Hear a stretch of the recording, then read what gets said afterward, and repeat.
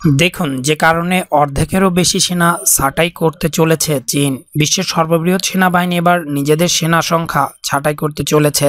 সেনাবাহিনীতেও আরও আধুনিকীকরণ আনতে চীনা প্রেসিডেন্ট তার স্ট্যান্ডিং আর্মির সংখ্যা অর্ধেক করার পরিকল্পনা নিয়েছেন।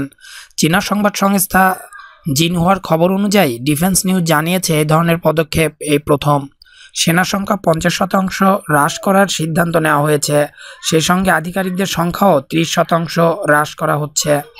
গত বছর পিপলস লিবারেশন আর্মি দুই দশমিক তিন মিলিয়ন থেকে তিন লক্ষ সেনা ছাঁটাই করা হয়েছিল। দুই হাজার সতেরো সালে চীনা সংবাদ মাধ্যম পিএলএ আধিকারিকের বক্তব্য তুলে ধরে জানায়, এক মিলিয়নের মধ্যে এই সংখ্যা নিয়ে আসার পরিকল্পনা রয়েছে। চীনা নৌসেনা বাহিনী এবং বায়ুসেনা বাহিনীতে আরও ব্যয় করে তাদের আধুনিক করতে এই পরিকল্পনা প্রেসিডেন্টের। ইতিমধ্যেই দুর্নীতিতে জড়িয়ে থাকার অভিযোগে পিএলের প্রায় তিন হাজার আধিকারিক এবং আরও অনেককেই কাজ থেকে সরিয়ে দেওয়া হয়েছে বলে জানা যায়।